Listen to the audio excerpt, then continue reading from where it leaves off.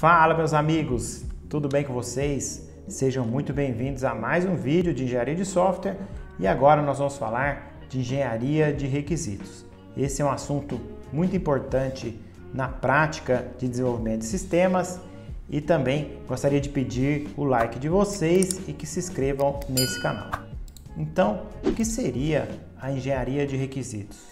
É o processo que define os serviços que o cliente requer de um determinado sistema e também as restrições sob as quais esse sistema irá operar. Então, de acordo com MPS-BR, tem um vídeo aqui no canal sobre esse modelo de processo de software, essa parte, a engenharia de requisitos, ela engloba o processo de definir, gerenciar e manter atualizados os requisitos das partes interessadas e do produto. Então, o, a tradução desse termo é requirements. Você vai encontrar na literatura estrangeira a parte de requisitos como requirements. O que é então um requisito, um requirement?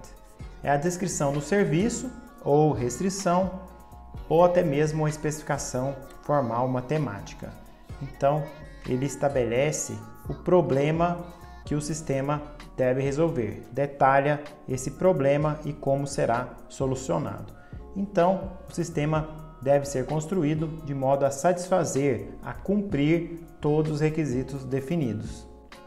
Aqui eu tenho um gráfico bem interessante, um meme que circula por aí e ele é bem ilustrativo sobre esse processo, mostrando de uma forma engraçada a complexidade da engenharia de requisitos. Então, o cliente explica dessa forma, um balanço com três, três madeiras aqui de sentar, até um pouco estranho, né? Deveria ser um balanço normal. Como o líder do projeto entendeu?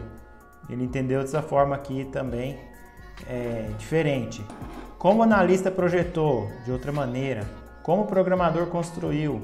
Então, a gente vai vendo várias formas de entendimento do mesmo requisito que foi explanado pelo cliente. Então, é preciso detalhar muito bem para evitar ambiguidade de compreensões. Aqui nós temos os seis passos da engenharia de requisitos e vou mostrar rapidamente cada um deles. Primeiro é identificar os requisitos ou também elicitar, é uma palavra bem utilizada nesse domínio. Segundo ponto é documentar, escrever, colocar no papel os requisitos. Terceiro ponto, checar se eles estão completos, se estão bem descritos. Quarto ponto envolve refinar e decompor os requisitos. Então eu vou detalhar mais ainda, refinando essas necessidades. O quinto passo, vou validar os requisitos, depois eu vou mostrar como. Vou verificar se eles estão completos e englobando o problema de um modo bem definido. E o sexto item é gerenciar os requisitos, ver se eles estão sendo satisfeitos. Para identificar os requisitos, nós temos técnicas que envolvem entrevistas, e aí eu tenho vários tipos de entrevistas, estruturadas, não estruturadas. Então eu vou verificar junto ao meu cliente. Isso pode ser feito em vários momentos do projeto e não só no início. Tenho também a observação do domínio, onde eu vou lá e fico olhando como funciona aquele sistema, aquele problema e como eu vou resolver. Tenho também o processo de brainstorming, que é a chuva de ideias, tempestade de ideias, onde eu reúno várias pessoas e vou discutindo os assuntos a partir de um tema central. Outro método bem interessante para definir os requisitos é já fazer um sistema, a cara de um sistema, ou um sistema menor. E aí o usuário vai falando, ele se sente um pouco mais livre para falar dos seus requisitos. Esse processo é chamado de prototipagem e também diminui a ansiedade do meu cliente, porque ele já vê algo ali concreto, mas não totalmente funcional. Então, prototipagem é o desenvolvimento de um modelo que irá simular o sistema real. Os requisitos, eles interagem entre si, eles têm uma certa dependência e aí nós temos conflitos entre diferentes requisitos, isso sendo comum nos sistemas mais complexos. Um exemplo é o sistema de aeronave. Para minimizar o peso, a gente sabe que o peso é algo crucial nas aeronaves, o número de chips separados deve ser minimizado. Então tenho que ter chips que fazem mais de uma operação para diminuir o número de chips e também o peso final desse meu sistema. E também para minimizar o consumo de energia, chips de baixa potência devem ser utilizados. Então tem algumas restrições e interação entre diferentes requisitos. Eu tenho os chamados requisitos de usuário, que são aqueles descritos de modo a serem compreensíveis pelos usuários que não têm o conhecimento técnico detalhado. Então, tenho que evitar jargões e processos sendo escritos de modo não compreensível ao usuário final. Então, devo utilizar uma linguagem simples, tabelas, gráficos, diagramas, quando esses podem ser facilmente compreendidos.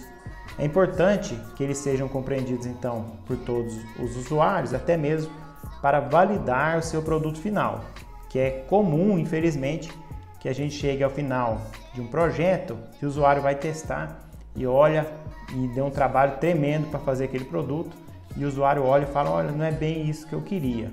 Até mesmo a prototipação, como eu falei anteriormente, serve para validar os requisitos de um modo bem interessante. Nós temos ainda os requisitos de sistema, que são especificações mais detalhadas das funções do meu software, dos serviços e das restrições que estão envolvidas ali, visando então fornecer uma base para o desenvolvimento do sistema aqui considerando questões mais técnicas. E aí eu posso e devo incorporar no contrato do sistema, até mesmo para checar se cada item pedido foi feito e está à disposição naquela versão do sistema. E também eu posso ilustrar, definir os requisitos utilizando notações gráficas, como a chamada UML, essa linguagem que é usada principalmente para modelar sistemas orientados a objetos de modo bem técnico. Eu tenho também que verificar os requisitos em termos de projeto, então descrever os detalhes do meu projeto, o meu problema, identificado ali na minha entrevista com o usuário, por exemplo. Então, nós devemos fazer um cronograma de também é, incorporar cada requisito nas minhas fases de projeto. Então tem um cronograma de projeto e requisitos. Priorizando alguns requisitos, a gente sabe que se for esperar que o software tenha todos os requisitos pensados e importantes ao usuário, nós podemos perder o tempo de oferta, o time to market do meu projeto. Então, se eu esperar muito, pode ser que esse produto nem seja mais necessário no mercado e não venda porque já tem outro concorrente que dominou o mercado. Então nós temos que ter versões e colocando os requisitos em cada versão. Isso é bom que eu diminuo também os riscos. Eu sei que meu produto já está ganhando mercado, já está funcionando, então eu vou evoluindo e vou completando os requisitos à medida que o produto vai sendo usado. E ainda eu tenho a questão do preço do desenvolvimento. Fazer todos os requisitos de um projeto às vezes pode sair muito caro, realmente quando você incorpora mais detalhes, meu projeto fica mais caro. Então tenho que ver a questão orçamentária também. O resultado da minha engenharia de requisitos é o meu documento de requisitos. Então ele contém uma declaração oficial do que está sendo pedido, deve incluir, além dos requisitos de usuário, uma especificação dos requisitos de sistema, de um modo mais técnico. Então, logo que possível, deve definir ainda como o sistema deve cumprir cada requisito, se é criando um banco de dados, um formulário, então a forma que eu vou cumprir, que eu vou colocar ali as minhas soluções de código-fonte para resolver um determinado problema solicitado pelo usuário.